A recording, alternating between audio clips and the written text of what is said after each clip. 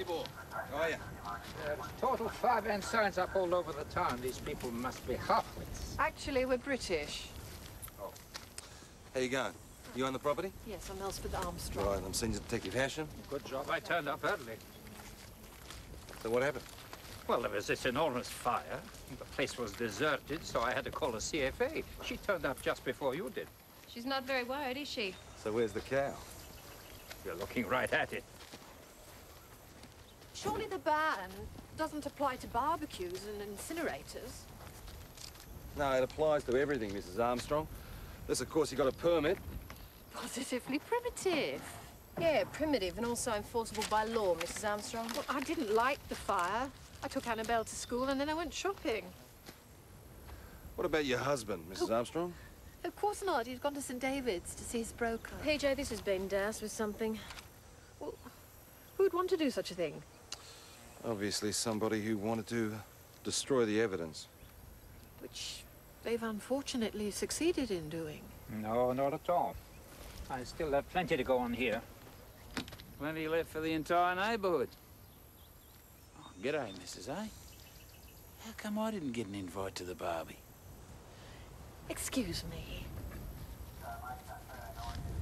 Bloody pommy ignoramuses. You'd be Malcolm Truesdale, wouldn't you? What can I do for you? Bovine spongy what? Bovine spongiform encephalitis, BSE, mad cow disease. There's no BSE in Australia, Mr. Truesdale. There's no mistaking those symptoms. Abnormal posture, swaying, butting that gatepost like a crazy. Yeah, and when was a cow doing this? Yesterday I saw it about three, three thirty. I told Liz, Yeah, Liz. Who's Liz? Mrs. Armstrong. I call her Liz on account of him being Phil. You know, Buckingham Palace corgis. We are not amused. I saw that cow yesterday, Mr. Truesdale. There was nothing wrong with it. I'm telling you the truth. Are you now? Yeah, it was staggering around all over the place, slobbering and everything. She denied it, of course. Well, that's fair enough, considering the disease is confined mainly to the UK. Humans get it. That's a well-known fact. And Poms would be the perfect carriers. Everyone knows they're soap dodgers. What sort of gun do you own, Mr. Truesdale? Don't have a gun. Haven't had a gun on the property in seven years. I really would prefer to speak to someone else. Well, I'm afraid that it... Uh, my superior, you mean please go ahead. Acting Sergeant Schultz, this is Mrs. Armstrong. She would like a Suit word. yourself. I don't know who shot your cow, lady, but whoever it was, I'd like to shake him by the hand. Good on you, Mel. How can we do for you, Mrs. Armstrong? Mrs. Armstrong would like to withdraw the case. Sorry? I, I simply can't see the point in dragging out this unfortunate business any further. Don't you want to find out who shot and burnt your cow? The animal's dead. Insurance will cover it. Can we just forget the business? No, I'm afraid it's, uh, it's a bit more complex than that, Mrs. Armstrong. Yeah, lighting a fire in restricted season is a serious matter. Yes, of course. I, I do see that. I'm sorry.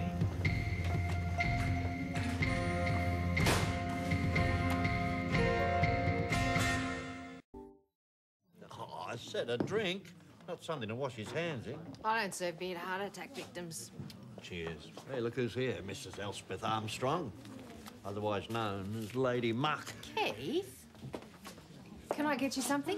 Oh, uh, gin and tonic. Oh, gin and tonic, very nice. Bit warm. Shocking. I love a sunburned country, a land of sweeping plains. Keith, give it a rest. You're a Pom yourself. That was years ago, and I took the oath. Oh, there's better. Now must see if he'll loom his tails for the next hunt ball. Don't take it personally. It's his warped sense of humour. It's 380, thanks. Keep it. Ta. Just look. That's a 22. Yeah, well, that's my guess, but uh, forensic can have to confirm it. Well, you get onto it, will you? Now, while we're waiting, we can go and search Mel Truesdale's We're property, not can't going to find anything there. Oh, turn it up. All this rubbish about a mad cow disease. The guy's got idea tattooed right across his forehead. Yeah, all right. His name did ring a bell, so I got Maggie to check out the DFO. What happened, Max? Huh? He did have a shotgun. He handed it in to police in March 1989 after it blew the head off his 15-year-old son. It was his only child, so it stands to reason why you wouldn't want a gun around the place. I think we're wasting our time. We can't eliminate him until we search his property, all right? You going out there? Yeah, may as well. I'll come with you. All right, well, I'll run this mad cow thing past Tibor and see what he has to say, huh? Well, you do that, Margaret, but it's a waste of time. Fine. Told ya. Didn't I? Yeah, I'm sorry about this. Any of Mal's mates under 22?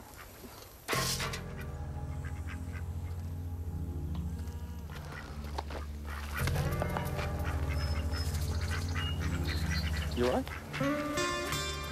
I'm fine. All right, well, thanks for your help.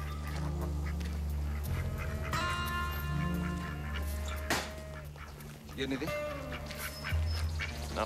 Hey, Detective. Why don't you ask the Armstrongs if they've got a 22? Hey, Dash, have you fixed that crime report yet? Hmm? Oh, um, no, I'm still working on it. Hey, Mags, do you think there's anything in this BSE stuff? Well, T-Boy doesn't think so, but he's checking it with the vet health people anyway. Apparently, this cow was artificially inseminated with British stock.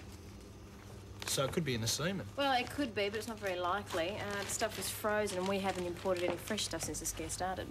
Yeah, but there must be some sort of risk. Especially if T-Boy's reported it. Yeah, I guess there must be. Gotcha. Are they always this bad? The flies, yeah, but at least they're not as bad as the mozzies. Mozzies? Mosquitoes. You haven't got hold of this lingo at all yet, have you? Oh, it's also strange. It's like living in a foreign country. It is a foreign country. And you know what they say, when in Rome, do as... Not those particular Romans, of course. It's Philip's idea to come. He's quite right, because there's no future in cattle in Britain at the moment. Because of this mad cow thing, you mean? We lost our entire herd. Really? I'm sorry. Yeah, it's very distressing.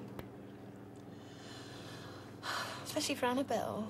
I, I don't think she could bear it if it happened again. Oh, look, there's no risk of that. Not here, not in good old Mount Thomas. Mm, mm, no, no, no risk at all. G'day, Gina. Hi, Chris. Hi. Hello. Um, I must be going. Can I say something?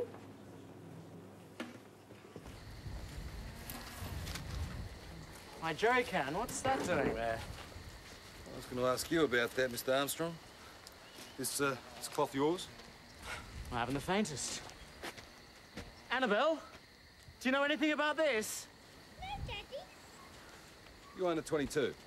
Well, yes, but... uh, I've seen the guns. They're on the lock and key inside the house. Right.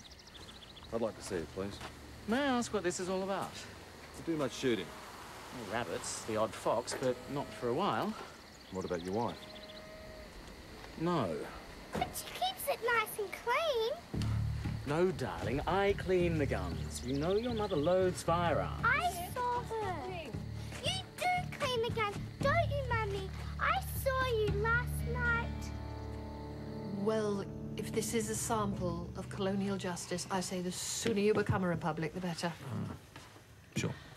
Now, did you uh, shoot your cow, Mrs. Armstrong? Of course I didn't. Did you set fire to the carcass?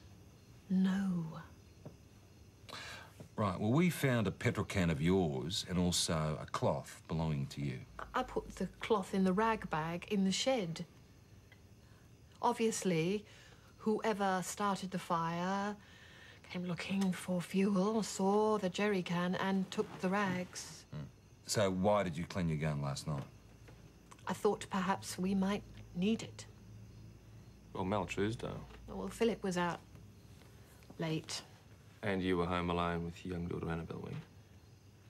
Well, God only knows what Mal Truesdale's capable of if he could do that to poor Daisy. Well, what did you expect, a shootout? Well, I wanted to be able to defend myself and my child.